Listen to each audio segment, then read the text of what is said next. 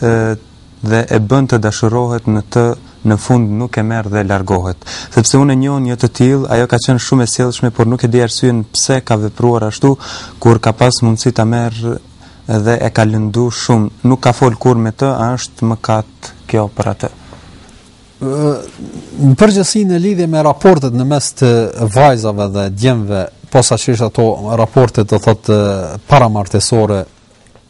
ë që janë kryesisht do thotë raportet që bëhen në fazën e adoleshencës, ë neve disa herë kemi përmend se ë do thotë qëndrimi i Islamit është mjaft i qartë. ë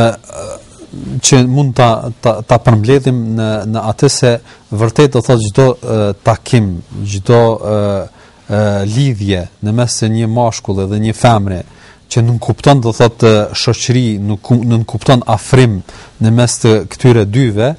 ë dhe që nuk që ajo lidhje nuk është do thotë e zyrtarizuar qoftë me fejesë apo me martesë në jurisprudencën islame nuk nuk është e lejuar me një fjalë është e ndaluar Kjo për faktin se këto raporte do thotë të ë ashtu siç përmendet edhe në këtë pyetje, ë kryesisht do thotë përfundojnë do thotë me me me lëndime të të ndërsjellta që detyrimisht edhe janë normale për arsye se nuk kanë përgjegjësi dhe nuk nuk nuk ndihen do thot asnjëri asnjëra palë do thot nga në kët do thot në kët partneritet nëse mund ta quaj apo në kët shoqëri të të kësaj natyre nuk ndjen përgjegjësi ndaj tjetrit për arsye se e, është do thot një një lidhje e cila nuk nuk nuk është e ndërtuar në asnjë në asnjë normë dhe në asnjë kriter. Prandaj e un shfrytëzoj rastin do thot edhe në kët në kët në kët pyetje do thot ta ta përsëris atë që e kemi thënë disa herë që t'i këshillojmë do thotë djemtë tanë dhe ato vajza që t'u largohen do thotë takimeve të të këtyre natyrave apo lidhjeve që të krijojnë do thotë shoqëri të krijojnë do thotë kontakte të natyrës ashtu siç është tash mjaft e përhapur, ë por të t'i largohen do thotë këtyre takimeve dhe këtyre kontakteve dhe për arsye se këto nuk nuk sjellin kurfar kurfar të mire atyre. ë Nëse ndonjë djalë është i interesuar apo ndien do thot interesim për ndonjë vajzë, atëherë dihet qartë se cilat janë ato rrugë që duhet ndjekur për tu njoftuar apo për të ë për të arritur do të thotë deri te kontakti me atë vajzën. E, e njëjta vlen edhe, edhe për vajzën e kështu me radh, prandaj unë pa komentu do të thotë ato e, ajo që ka ndodhur do thotë në mes të kësaj vajze dhe atij atij djali që fatkeqësisht po përmendet se është besimtar, fal namaz e kështu me radh. Megjithatë do thotë ia ka leju vetes do thotë të futet në kontakte të këtilla që në fund do thotë kanë përfunduar do thotë me me me zero në fakt do thotë kanë përfunduar me me me tejkalimin e këtij kufizimi nga nga ky njeri po në anën tjetër edhe me lëndimin do thotë shpirtëror që paska ndodhur me këtë vajzë e që e,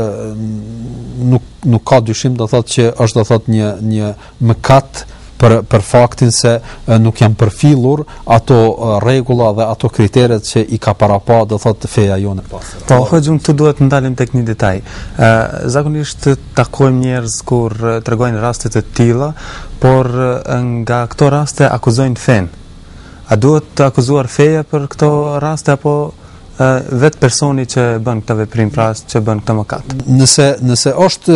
në pyetje do thotë akuzohet feja për arsye se si një djalë musliman që fal namazin do thotë e ka bë e ka bër këtë tejkalim pastaj do thotë është largu nga ajo vajzë kështu me radhë dhe kjo me qenë shkak feja është e vërtetë se kjo ndodh. Dhe disa njerëz qoftë edhe qëllimisht thonë se ja çfarë ka bërë do thotë një musliman i përkushtuar do thotë e ka bërë do thotë këtë tejkalim. Ë në fakt jo vetëm për këtë punë, po për shumë veprime e, që janë ndalesa në jurisprudencën islame, shpesh ndodh ato që të, ak,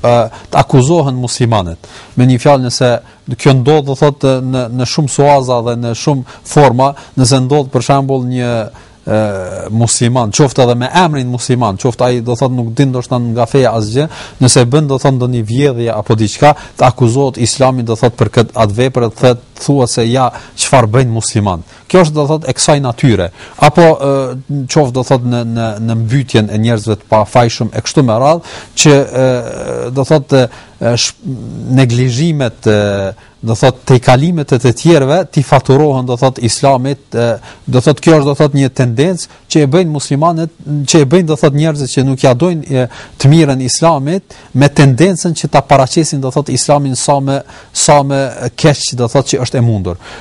neve u themi edhe atyre do thot që kanë këtë tendencë po edhe atyre që ndoshta nga mosnjohuria mendojnë se kjo ndodh do thot me domethënë është në pyetje islami pse, pse ndodhin këto tejkalime, themi se muslimanet pavarësisht